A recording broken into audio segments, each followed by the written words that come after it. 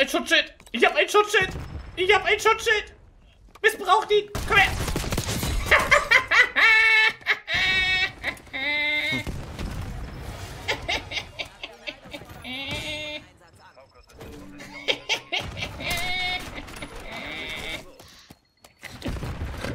Das ist schon nice, ne?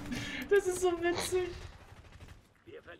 Moin Leute, was geht? Herzlich willkommen auf meinem Kanal zurück. Heute mit dem allerersten Gameplay-Tipp für Black Ops 6. Und ich habe es ja in meinem Review gestern schon erwähnt. Tatsächlich macht mir dieses Game seit Jahren mal wieder Spaß.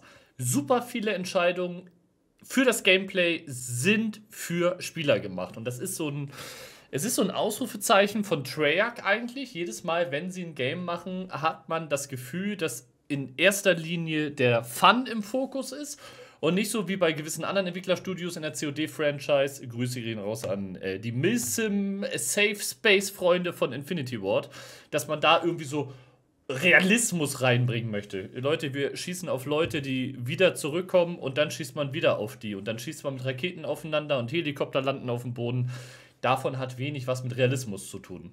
Dieses Jahr ist es aber so, dass in Black Ops 6 die Streak-Kosten so hoch sind für Drohne, Konterdrohne, wie glaube ich noch nie zuvor. Was bedeutet, wenn ihr ganz casual spielt, braucht ihr länger, um eure Streaks zu erreichen. Es gibt aber einen absoluten Cheatcode und deswegen auch der Titel von dem Video. Und man muss immer, was heißt Clickbait die Arbeit, aber da muss ja was stehen, was einen interessiert, damit man draufklickt. Bringt nichts, wenn ich schreibe, ich habe einen Tipp. Deswegen, ihr werdet es mir verzeihen, wenn es ein bisschen clickbaity aussieht. Es ist aber so. Es gibt verschiedenste Möglichkeiten für euer Loadout, wie ihr unfassbar viele Punkte sammelt. Und diese Punkte werde ich euch jetzt zeigen, in-game zeigen. Und dann könnt ihr eure Klassen so nacharbeiten, wenn ihr auch Bock habt, auch die High-End-Streaks, also nicht nur, wie erreiche ihr schnell eine Drohne oder Konterdrohne, sondern wie habt ihr öfter den Orbi oder das AC-130, also falls es das Kampfflugzeug sein soll, ich weiß nicht, also sieht so aus wie das Kampfflugzeug und wird es wahrscheinlich auch sein. Oder sonst eine der hohen Streaks. Denn anders als bei normalen Gamern ist es bei uns so, wir wollen mit diesen Sachen in den Runden erfolgreicher sein. Es gibt aber parallel andere Gamer, die sind für die ist so eine Runde immer Chaos. Die brauchen so einen Tipp nicht. Die sind schon damit überfordert, dass die Runde überhaupt startet. Und äh, die leben in einer Multiplayer-Runde im absoluten Chaos. Und das ist deren Welt. Dieser Tipp ist für alle eigentlich, die Bock haben, aus diesem Chaos rauszukommen und Streaks zu erreichen. Denn einer der großen Unterschiede zu X-Defiant ist, Streaks, Streaks in Call of Duty sind etwas, was positiv dafür sorgt, dass man viel, viel mehr Laune und Lust hat, weil ihr merkt, ihr kriegt extra Punkte, ihr helft eurem Team, ihr helft euch, da regnen Bomben vom Himmel, weil ihr sie gerufen habt. Streaks sind in Call of Duty ein elementarer Standteil oder Bestandteil und dieses Jahr ist es so einfach, die zu verdienen wie nie zuvor. Dieses Jahr in Call of Duty ist das Perk-System ein bisschen ein Mix aus etwas, was wir schon kennen und etwas, was neu hinzukommt. Und wie ihr alle mit Sicherheit schon mitbekommen habt, habt ihr eben drei verschiedene Perk-Kategorien. Rot, Blau und Grün. Während ich persönlich eigentlich ein riesen Fan von solchen Sachen wie Gewandtheit bin und Movement-Perks, die wir hier eben so wie mit Eiltempo in der roten Kategorie haben, sind die grünen Perks die Perks, die ihr auswählen wollt, damit ihr auf das Spezialisten-Perk kommt. Also sobald ihr drei Perks aus einer Farbe wählt, und dann ist es auch egal, ob Dispatcher oder flinke Hände, Hauptsache ein grünes Perk, erhaltet ihr ein Spezialisten-Perk. Aber eben nur, wenn ihr mindestens drei Perks aus einer Kategorie wählt. Und ihr seht es an dieser Klasse schon. Ihr seht, ich mache hier gerade die eine DMR auf Gold. Da bin ich jetzt bei 39 von 100 Headshots. Den zweiten Raketenwerfer habe ich jetzt parallel dabei, weil ich den auch gerade noch auf Gold mache. Dann sind die Raketenwerfer fertig. Ihr seht, ich habe richtig Bock und bin im Tarnungsgrind. Zu diesem Ganzen gibt es aber eben den Tipp, wie man diese Feldaufrüstung, die ihr habt, wie ihr eure Taktikausrüstung und eure Perks auswählt, damit ihr für eure Kills und eure Sachen extra Punkte bekommt. Und das Ganze ist relativ einfach. Was die Feldaufrüstung angeht, gibt es ganz genau zwei Feldaufrüstungen, die ich euch von Herzen einfach nur empfehlen kann. Und das ist einmal der Schlachtruf tatsächlich. Ihr versammelt euer Team, das heißt, während ihr das aktiviert, bekommt ihr plus euer Team einen Movement-Buff, was sehr, sehr geil ist und sich sehr, sehr gut anfühlt. Und jeder, der als Teammate in der Nähe von euch das mitbenutzt, also er braucht nur neben euch stehen, ihr aktiviert es, für jeden davon bekommt ihr extra Punkte für eure Streaks, was sehr, sehr geil ist. Und die andere Option ist die Akustikverstärkung. Ihr hört für einen gewissen Zeitraum mehr Steps und lautere Steps von Gegnern. Also ist so eine Art Wachsamkeit auf Steroiden für kurze Zeit. Macht tatsächlich Spaß damit zu spielen. Bekommt für jeden Kill, den ihr in dieser Zeit macht, 15 XP oder 15 Punkte zu euren Scores dazu. Das ist allein, was Feldaufrüstung angeht, die ihr sowieso dabei habt, der Tipp. Bei Taktik. Ich spiele eigentlich Stim Injection, weil es mir hilft, in brenzligen Situationen nochmal davon zu kommen. Aber ihr könnt es auch anders machen. Und zwar könnt ihr bei dem Ganzen hier die Täuschgranaten dazu nehmen. Ihr braucht diese Täuschgranaten nur in die Nähe von irgendjemandem werfen, von einem Spawn, von Gegnern. Jeder Teammate und ihr, der in der Nähe von so einer Täuschgranate jemanden killt, bekommt ihr 15 extra Punkte für eure Streaks. Das heißt, ihr braucht nicht mal in der Nähe davon sein, werft das Ding Richtung B, zwei Stück, die Dinger werden nicht kaputt gemacht. Und wenn bei B drei oder vier oder fünf Teammates einen Kill machen, seid ihr mal eben bei 75 bis 100 extra Score für eure Streaks, was bedeutet, ihr seid gar nicht aktiv dabei und habt trotzdem den extra Score. Und dann kommt das Allerwichtigste und das sind die Perks bei euch. Ich habe ja gesagt, drei grüne solltet ihr nehmen damit ihr das Spezialisten-Strategen-Berg bekommt. Und was da steht, Punktebonus für Ziele und das Zerstören feindlicher Ausrüstung. Macht Ausrüstung durch Wände sichtbar. Setzt Ausrüstung, Feldaufrüstung schneller ein. Das Wichtigste hierbei ist der Punktebonus für Ziele und das Zerstören feindlicher Ausrüstung. Sobald ihr in Herrschaft eine Flagge einnehmt, bekommt ihr extra Bonus. Sobald ihr in Herrschaft jemanden auf einer Flagge killt, kriegt ihr extra Bonus. Sobald ihr in Kill Confirmed eine der Marken bestätigt, bekommt ihr zu den XP für den Kill, zu den XP für die Marke, die ihr einnehmt, nochmal 50 extra Score nur für die Marke, nur weil ihr das Perk ausgerüstet habt.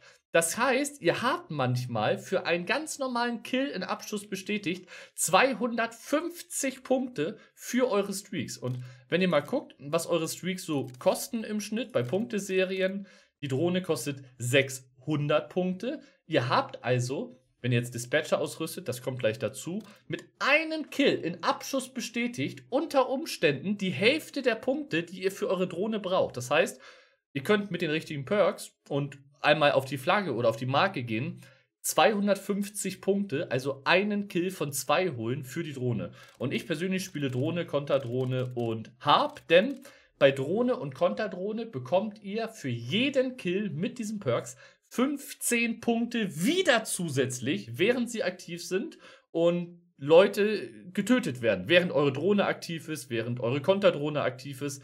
Es ist unglaublich, wie sich allein durch diese beiden Perks eure Punkte multiplizieren, während ihr die Runde ganz normal spielt.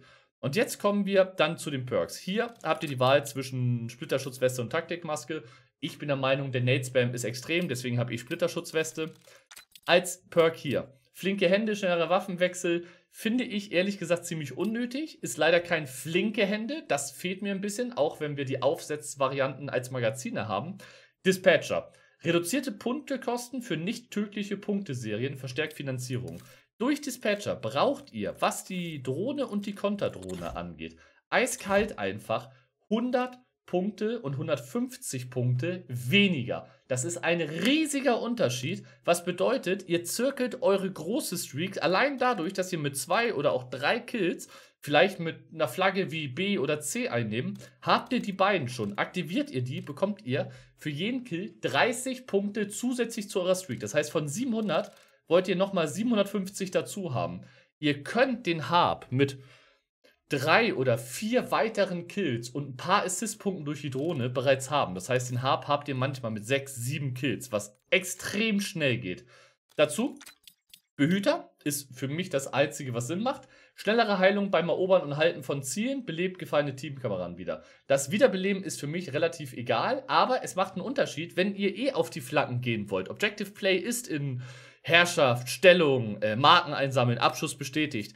Unglaublich wichtig und es hilft dabei, dass eure Health Gen, also eure Gesundheit, schnell wieder regeneriert wird. Quartiermeister ist, ähm, die Ausrüstungsnutzung wird wieder aufgesaugt, braucht man nicht. Logistiker ist auch okay für zwei Feldaufrüstungen, aber braucht man meiner Meinung nach auch nicht.